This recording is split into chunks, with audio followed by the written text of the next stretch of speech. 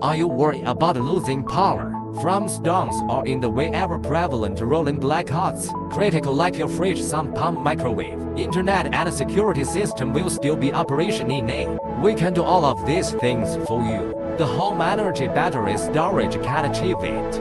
We are the battery factory. Let us show you how the home energy battery is making. Check the battery cell voltage. Ready the shell. You can print your logo on shell if you need. Put the battery cell into the shell. Soldering iron to plus or minus. Assemble the BMS. Assemble the wires. Testing the all details after finished. The last part is packing on the box to protect battery. Protect the battery from collision, shaking, extrusion, etc. to avoid problems in the logistics process.